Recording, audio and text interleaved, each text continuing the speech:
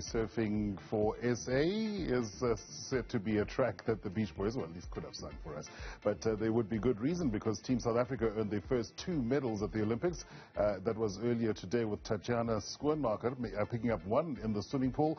The other also came from the water, Bianca Buitendag taking silver in the women's surfing event. Joining me to discuss the magnitude of the performance of uh, a woman who headed into the competition as the number 17th seed is General Manager of Surfing South Africa, Robin de Kock. Robin, thanks so much for your time. I'm pretty sure that uh, the headlines, were you writing them, would simply read stoked. Stoked, absolutely. Best day ever. It really was, and a wonderful performance. The way that uh, Bianca made it uh, into the final to begin with was incredible, great form. And of course, the one thing that I know about surfing is that you are at the mercy of nature. Yeah, you know, look, um, that's the, that's the reason why this Olympics was held in the sea and not in the wave pool because part of surfing is its roots, which you know we need the dynamics of the sea and the sea moves all the time and different conditions, high tide, there's a low tide, it's real stuff. You know, the, the wave pool thing is not real. So having it in the sea was special. Um, you know, the conditions were different and difficult. That final, those conditions were, it was like there was a river running through the, the sea at the same time as the waves. It was an unbelievably difficult final. Mm. And for Bianca, who is 28, and she'd served quite a few heats in the day, I think it was a little bit tough towards the end there. She was serving against the Carissa's only 19, 20, so it was a tough final, but, but we're so proud of her. She did so well. You mentioned her veteran status, uh, which I'm sure she'll wear um, as a badge of honor, and she's announced that she'll be retiring from international competition. What a way to go out. Yeah, we're going to try and twist her arm to come back for Tahiti, though.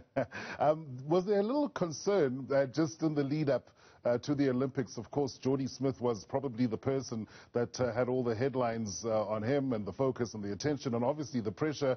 His um, withdrawal from the games would have left a couple of people thinking, oh, we really had a good chance. Yeah, look, it's been a real journey for us as a, as a new sport into the Olympics. You know, we, we, we, we've, you know, Jordy's, Jordy, before his injury, was ranked number four in the world. He's an incredible surfer. And, you know, if anybody had a bit of spare cash and they were putting money on a medal for the Olympics in surfing, we would have put it on Jordy.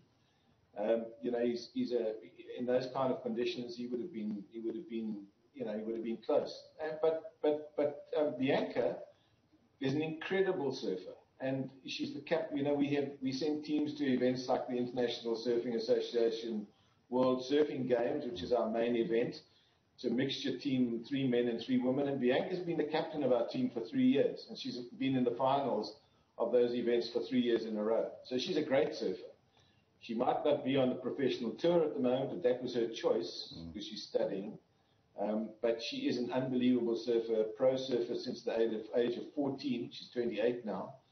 Um, so you know she's she, she, you know she is um, she's a true South African. She lives in a little dorp in Vic Bay near yep. George.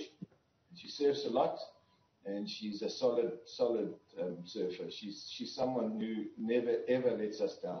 Yeah, I'm sure all of Victoria Bay will be buzzing for quite a while uh, to come and celebrating her. What does this mean for you as an association, just in terms of uh, garnering a little bit of extra support, be it um, in sponsorship terms, uh, highlighting uh, what can be achieved by those who take up the sport?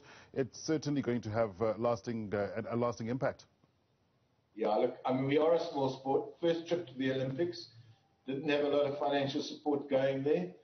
Um, you know, we, we, we've been working quite hard behind the scenes. Last year, as you know, the beaches were closed for long periods of time, so neither Bianca nor Jordy could train because we couldn't go and surf.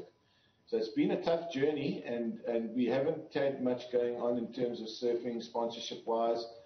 Um, but, but, you know, we worked hard to get to where we are now. We had a great coach in Greg Emslie.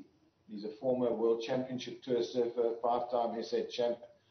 Um, you know, so he, he was marvelous. He and Bianca worked together and worked strongly together before the build-up to this event. Um, we do want to thank the people that have been behind us. We've had some great support from people like Sea Harvest, who've been on this journey with us for six years, and we really appreciate their support. Mercedes-Benz helped us, you know, get there as well. And, and, and, and the people at SASCOC have been great. I mean, they've, they've held, held our hand all the way because we knew. They've showed us what to do. They've supported us. They've given us all the backing, and we and we really feel like part of the big family now. So and and and, and you know, this silver medal is pretty much not just for surfing, but it's for all the athletes that went across to Japan yeah. as part of Team South Africa. We want to share it with them too. Robin, thank you so much for your time. And uh, yeah, I'm pretty sure that uh, there'll be a lot of um, uh, fallout um, in the positive sense after this uh, wonderful result. And I think uh, that uh, all surfers around the country will feel, well, to steal a little bit of surfing parlance, amped for what was an absolutely wonderful performance by Bianca Buitendag.